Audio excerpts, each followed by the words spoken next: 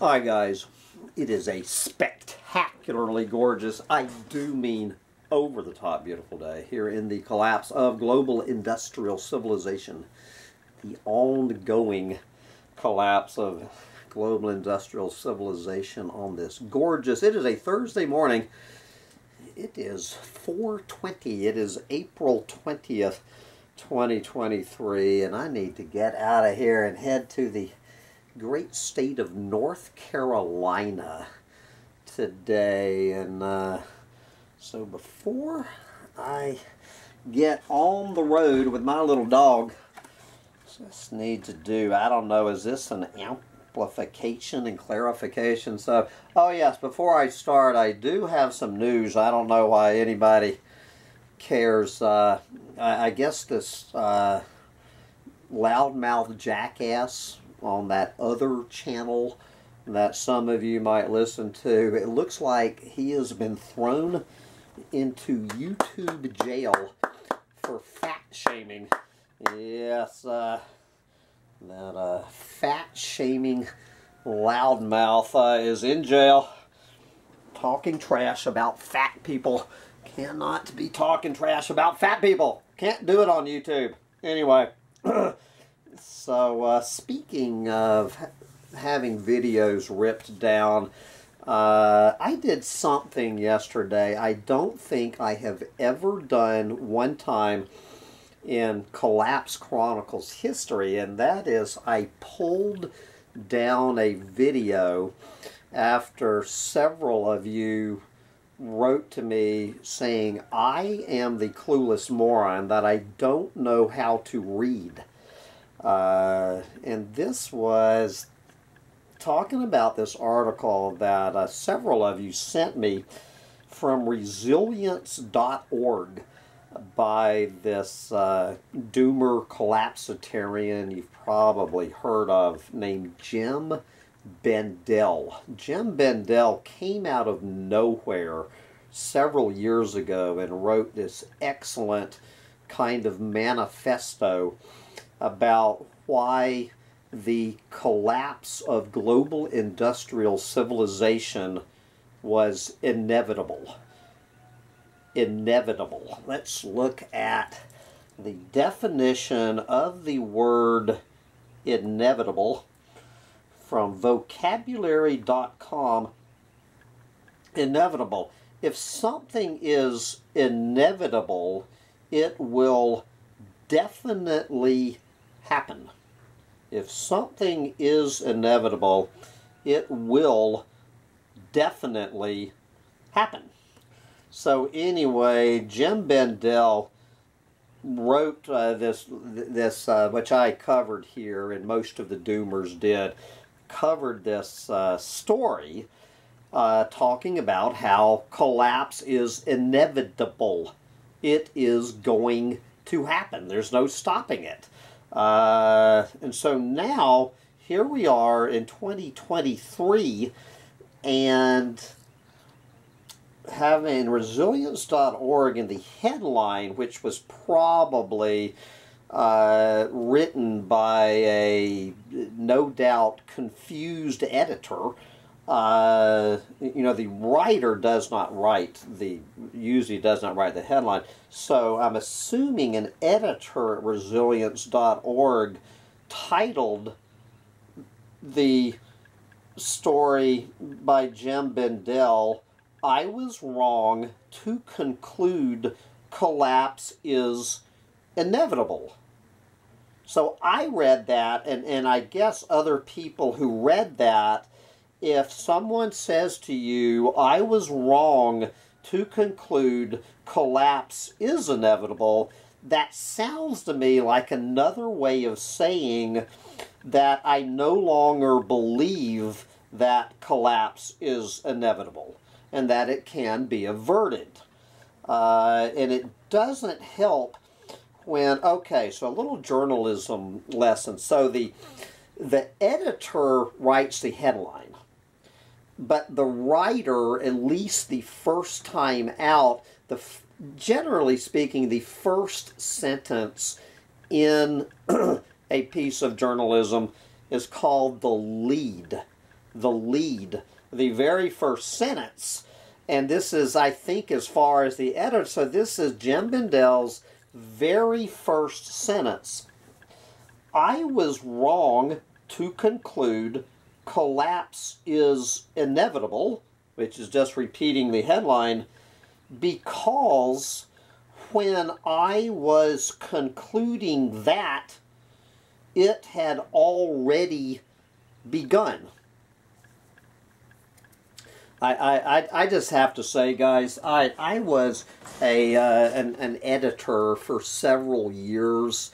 Uh, back in my former life as a journalist, if, if one of my reporters, uh, writers, had uh, turned in that sentence, I would, uh, or if I had been a journalism professor and some, uh, you know, 18 year old freshman journalism student had turned in that horribly written, completely confusing sentence to me, I would have put a big red line through it, returned it to him, and said, try again. The sentence doesn't make any sense.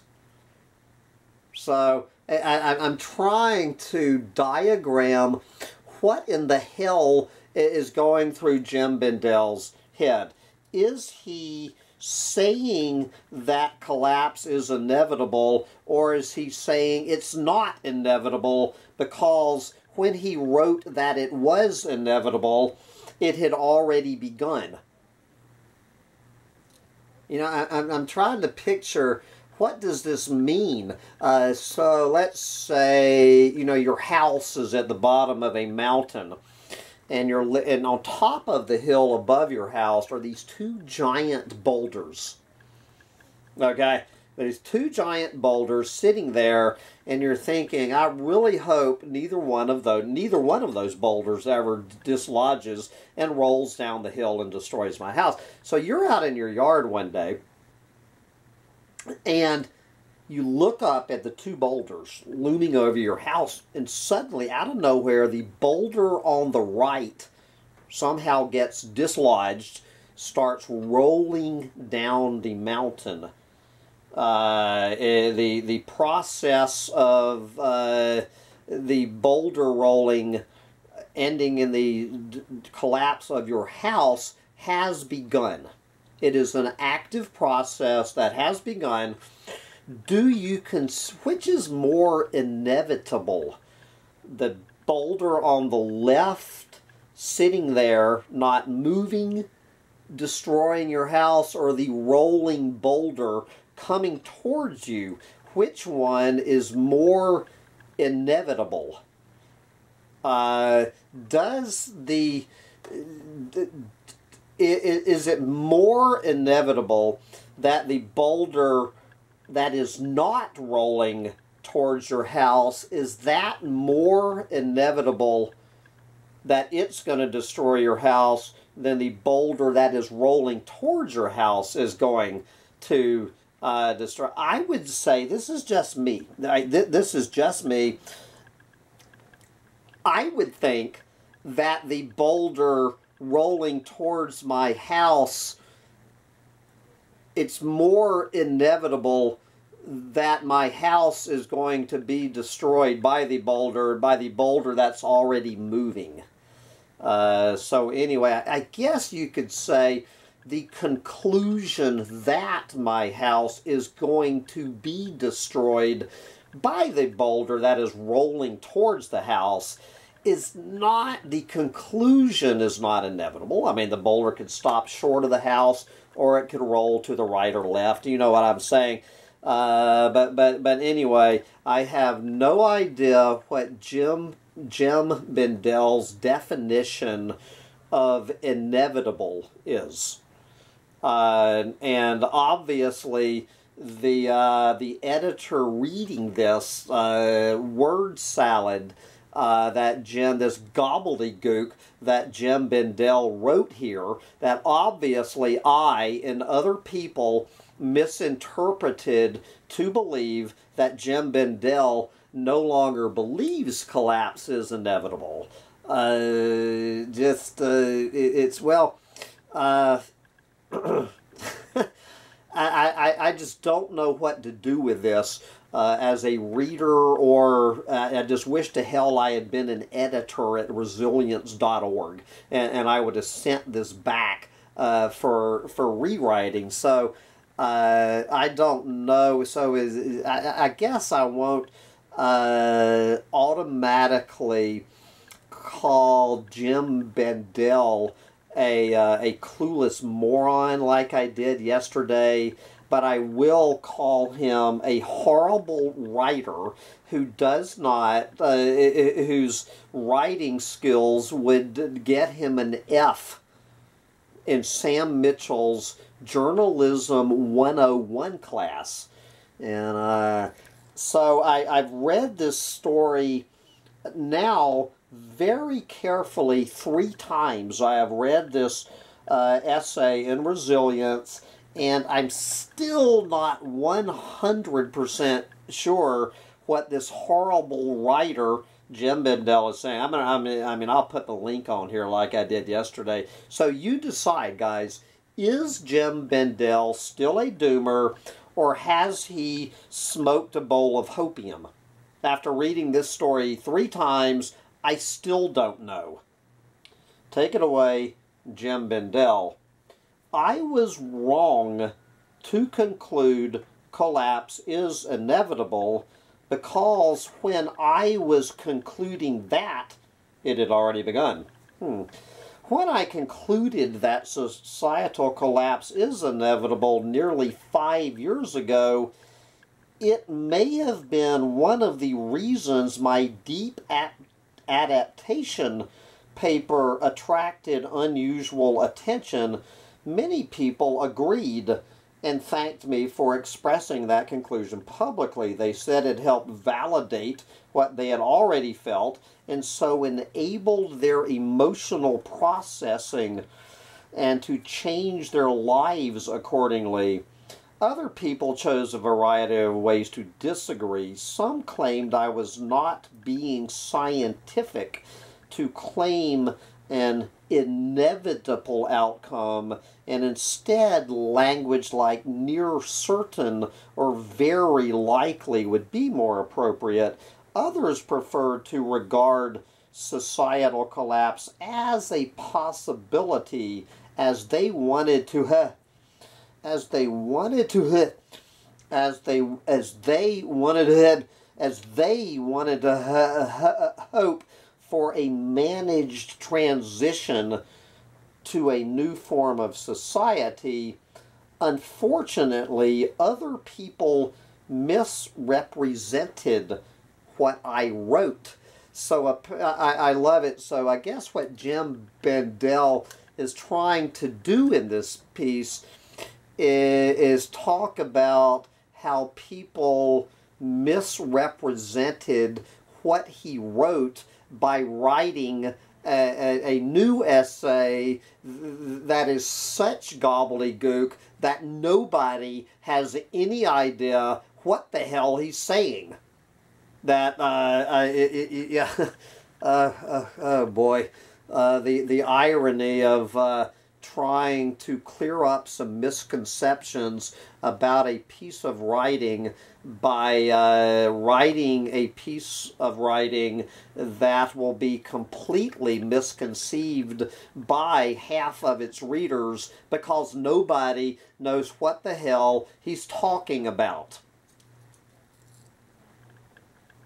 To recap, in that paper, you know, from 2018, I did not claim that we faced inevitable near-term human extinction, and I did not claim that the inevitable collapse would happen by 2028.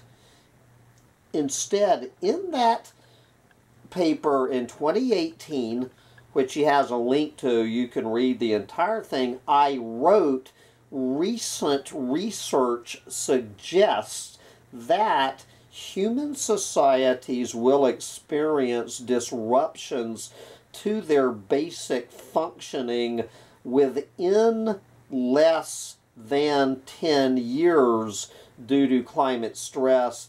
Such disruptions include increased levels of malnutrition, starvation, disease, civil conflict, and war, and will not avoid affluent nations, close quote. Uh, I never thought, uh, I, I never thought, never accused Jem Bendell of being one of these clueless morons in any way, shape, or form predicting near-term human extinction uh, by the year 2028 or 2030 or 2026. Anybody who believes that humans are going to be extinct on this planet is every bit as uh, a, a clueless moron as Elon Musk or Tucker Carlson. Anybody believing that humans are going to be extinct by 2030 uh, as much as I wish they would be, uh, you are a clueless moron. Uh, and I did not, uh, uh, so anyway, I guess I did not misread his original paper. So now in 2023, many experts and UN officials are saying similar. I summarized my position thus. This is the summary of his position five years ago. I'm guessing uh, he's talking still about 2018. Currently, I'm thinking he's talking 2018, although it's unclear. Currently, I have chosen to interpret the information as indicating inevitable collapse probable catastrophe and possible extinction.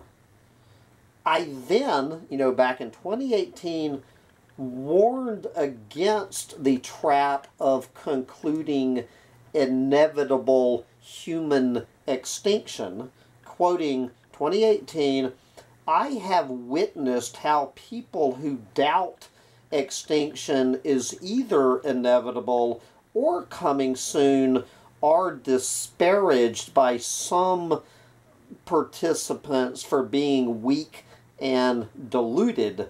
This could reflect how some of us may find it easier to believe in a certain than an uncertain story, especially when the uncertain future would be so different to today that it is difficult to comprehend, close quote. Uh, it would take a while to unpack that sentence. Unfortunately, the misrepresentations of the original deep adaptation paper, and I think he's talking mostly to any clueless moron uh, believing that humans are going to be extinct uh, in the next 10 years. Um, the misrepresentations of the original deep deep adaptation paper within mainstream publications and by participants in environmental professions and movements has distorted understanding even for people who welcome the analysis and concept in the first instance such misrepresentation has been helpful for those people who wanted to sideline a discussion of collapse or perhaps to own the agenda for themselves. It is an open question how much crucial time and public money has been lost due to people pursuing such tactics. Uh, guys, uh, I, I, I don't know. Maybe Jem Bendell was just uh, trying to write this at 4 o'clock in the morning. The guy is completely losing me. Okay? Uh, he is getting deeper and deeper into completely losing me. What the hell are you talking about, Jem Bendell? The valid criticisms were, the valid criticisms were that I had not sufficiently defined either collapse or what would be collapsing I was new to the topic of societal collapse at that time, so when in early 2021 I embarked on a couple of years of research on the topic with an interdisciplinary team, I was open to finding analysis that would nuance my conclusions. The result of that process is contained in my new book, breaking together, what I discovered is that the breakdown of societies had already begun when I was researching the deep, at, deep adaptation paper in 2017 and 18. Collapse is a process, not an event. And because the changes already observed appear to be inevitable, collapse is a reasonable term to describe that process. Okay, let's read the first sentence. I was wrong to conclude collapse is inevitable because when I was concluding that, it had already begun, and he has now clarified that word salad with the word salad. Collapse is a process, not an event, and because the changes already observed appear to be oh, irreversible. That maybe that's my problem. I'm reading. Uh, I I need better glasses because the changes already observed appear to be irreversible, collapse is a reasonable term to describe that process. In the book, I go into great depth on the evidence base for this perspective. I also explain why it is not one that we hear so often from experts. Uh, in chapter 1, I describe some of the socioeconomic evidence and theory for the view that the collapse of industrial consumer societies has already begun. Uh, chapter 4 on global food systems breakdown is also available in this paper that he links you to.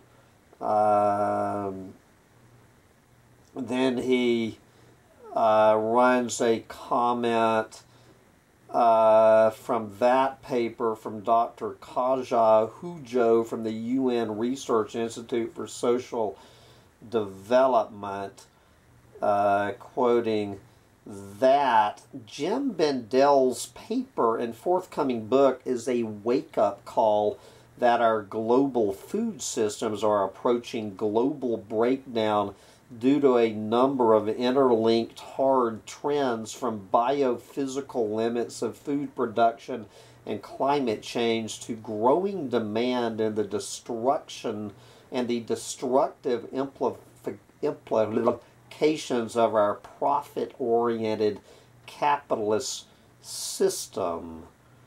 Uh, blah, blah, blah. Uh, anyway, uh, back to Jem.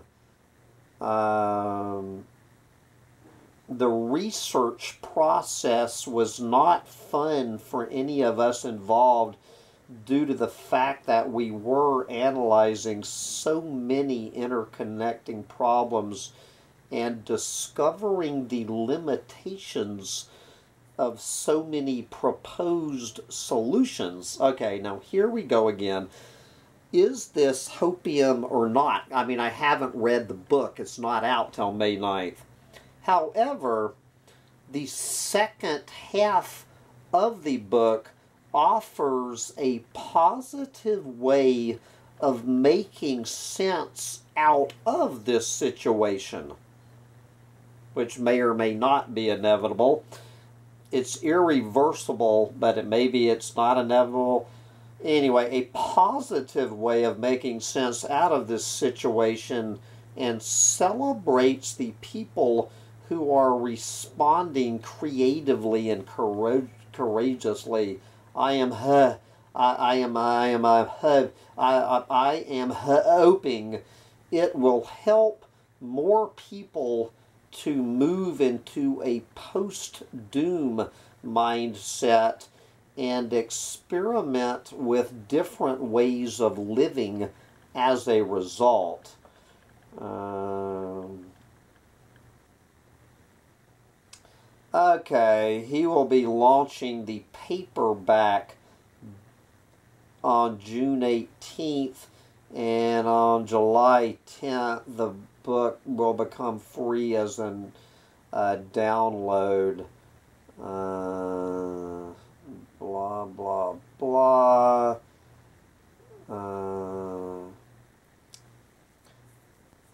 it's uh, that is the 50th anniversary of the publication of Small is Beautiful by E.F. Schumacher. I now regard that classic text, Small is Beautiful, as offering a coherent analysis that the environmental movement and profession became better at ignoring as it became more compromised and self-serving.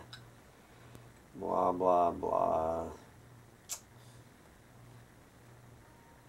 Anyway, and you can pre-order the book. Uh, if you want to read his new book, he has a link to how you can pre-order it blah, blah, blah. So, guys, I don't know. Uh, I guess I will apologize to uh, to uh, Jem Bendell for calling him a clueless moron in the same league with uh, Elon Musk and uh, Tucker Carlson, but I do think uh, that Jem Bendell should hire a copy editor and someone with a journalism degree to uh, make suggestions to his future essays to avoid people misunderstanding what he has to say. But with that, I got to wrap this up and pack up my gas-sucking truck and head to North Carolina, baby. My guys. Yes, little dog? Are you ready to head to North Carolina